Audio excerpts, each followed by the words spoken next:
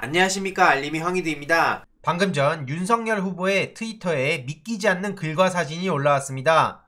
우크라이나와 함께 한다더니 누가 봐도 김건희 씨가 연상되는 그림을 귤에다가 저렇게 그리고 대놓고 조롱을 한 거죠. 본인들 딴에는 우크라이나 오렌지 혁명을 빗댄 거라고 하지만 이미 외신 기자들도 이렇게 황당하다며 리트윗을 한 상황이고 보수당 후보의 이런 트윗은 당혹스럽다는 외신 기자들의 박제가 이어지자 뒤늦게 부랴부랴 삭제를 한 거죠. 도대체 어느 나라 보수가 이런 짓들을 저지릅니까? 진정한 보수주의자들이 현 국민의 힘을 앞장서서 비판하는 이유라고 보고요. 개사과에 이어서 귤조롱 논란이 터진 거죠. 게다가 귤조롱뿐만 아니라 태극기에 개사진을 저렇게 또 같이 담아내는데요. 이렇게 개사가 논란에 휩싸였던 사람이라면 상식적으로 이게 어떤 논란을 불러올지 뻔히 알면서도 저런 사진을 올렸다는 게 매우 심각한 문제라고 봅니다. 3일절이 본인 SNS로 깨작대는 장난치는 날입니까? 뒤늦게 귤조롱 사진과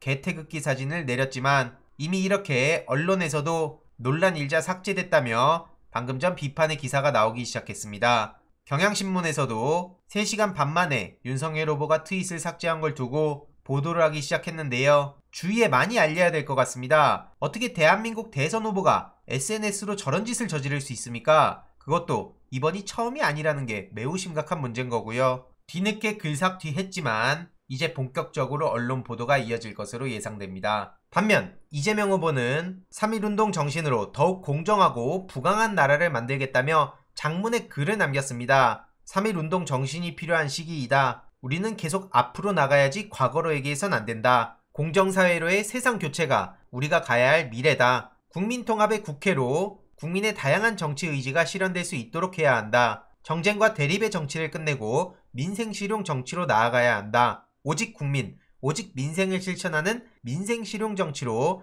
국민의 요구에 부응해야 한다. 그래서 유능한 경제 대통령이 돼서 세계 5강 선진 경제 강국을 물려주겠다. 그리고 순국선열의 숭고한 희생과 헌신을 언제나 기억하겠다는 내용들입니다. 이렇게 SNS로 장난치는 윤석열 후보와는 비교도 안 되는데요. 이게 단순히 대선 후보로서 부랴부랴 저렇게 글을 남긴 것도 아닙니다. 과거 월 100만원 광복 유공연금을 지원하기도 했는데 200 이상 드리려고 했지만 정부 연금도 있어서 경기도는 월 100만원으로 결정했던 거죠. 이외로도 국가유공자들을 향한 특별한 보상을 하기도 했는데 각종 명예수당, 생활지원금, 의료비, 장례 지원 등 특별한 희생에는 특별한 보상이 따라야 된다는 원칙을 고수했고요. 친일 작곡가 만든 경기도 노래를 폐지하고 친일 인사 257명의 행적을 공개하기도 했습니다. 그리고 경기도에선 항일 유적지 알리기를 하고 친일 잔재 청산을 지속하기도 했는데요. 역대 도지사의 친일 행적을 공개하고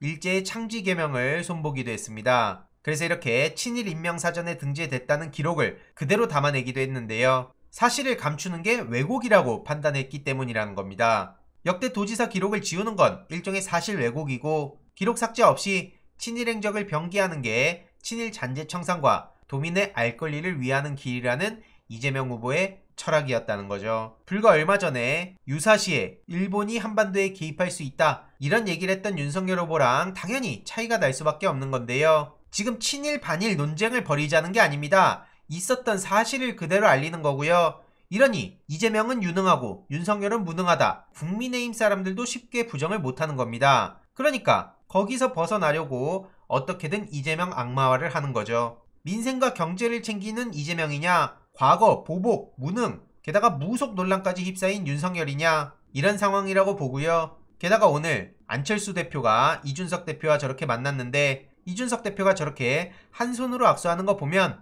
평소에 인사도 안 하고 다니고 거만하고 오만하다 이런 얘기를 괜히 듣는 게 아니었다는 생각이 듭니다. 이렇게 송영길 대표가 예의를 지키는 모습 그리고 거기에 환하게 맞이하는 안철수 후보의 모습 이게 정상 아닙니까? 오죽하면 조선일보에선 당대표들 만난 안철수의 두 표정이라며 이준석엔 싸늘 송영길엔 미소 이렇게 보도를 할 정도죠. 셀프 포위론에 갇힌 이준석 대표에 대해선 차차 소식을 전해드릴 예정이고요. 오늘 저녁 7시 반에 추미애 TV가 새롭게 시작한다고 합니다. 7시 반 라이브 진행할 예정이라고 하니 많이들 시청해보시고 새롭게 시작하는 콘텐츠도 많은 관심과 응원 부탁드리겠습니다. 이번 내용도 유익했다면 구독, 좋아요, 알림 설정 멤버십 가입 정말 큰 힘이 된다는 점 말씀드리고 싶습니다. 이번 내용도 주위에 널리 공유 부탁드립니다.